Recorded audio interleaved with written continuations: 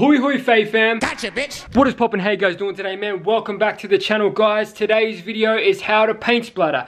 As many of you guys know I got a brand new BMX. If you've seen last week's video, my brand new bike check, 2018 free agent bike man. It's pink, it's got the paint splatter. So a lot of you guys wanted to know how I did it. Today's video is explaining exactly how I did it. Guys, first thing you want to do is get yourself a nice sort of sheet or something that you can lay down so that your mom or your dad or your girlfriend or your wife or whoever doesn't get mad at you for getting paint all over the driveway or the house. Guys, you want to get yourself some paint markers. I just got mine from Walmart down the street. I mean, it cost me like $10, I think. It's super cheap. You can get like a value pack so you can get like four or five in one packet. Once you've got your paint markers and you've got your area set up, it's time to get painting. You know what I'm saying? Guys, step number one is get the first color you want to use and shake it up really well.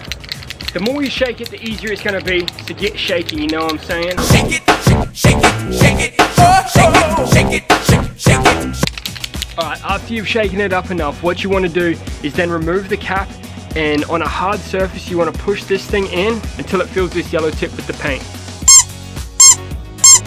As you can see it's starting to come through now. So there we go, now that it's full, you're on to the next step. Guys, next step once you've got the tip filled is get yourself some pliers, grab the end of it and pull it out just like so and now you're ready to paint splatter. If you're finding that not too much is coming out guys, all you want to do is put the tip back in That's what she said. and then press some more paint into the tip.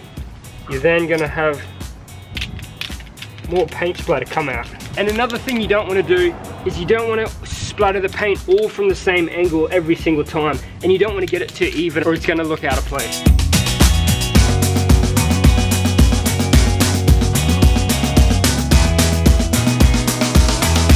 Guys, once you've got your first layer done, your first color basically, in other words, I did my hubs, I did my rims, and I did my little uh, peg, what do you call that thing? Oh yeah, hub guard, I did my little hub guard as well. Move on to the second color and just repeat the same process that I just did.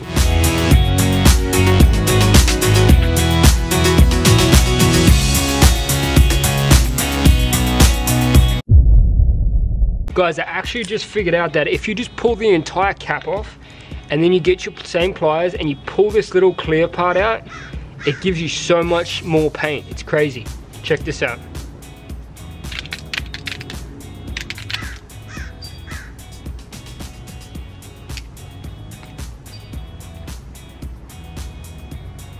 But you have to be careful that you don't completely cover it just like I just did and maybe ruined it. I'm gonna have to even that up with some more blue. But I think everything else so far is looking pretty good. 10 seconds later. Alright guys, now we're cooking with gas. I got the sprocket done, I've got the hubs done, I got the stem done, and I've got the rims done. And everything is looking naughty. I went a little bit crazy on this one and a little bit crazy on this one, but it's all good. Nice. Now it's time to do the bars. Let's get it.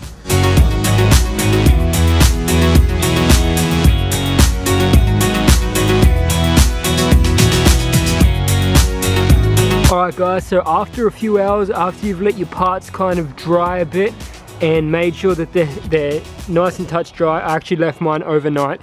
You want to get yourself some clear coat spray paint and you basically want to make sure that you give the parts a clear coat all the way around the entire way just to make sure that all the paint splatter doesn't rub off.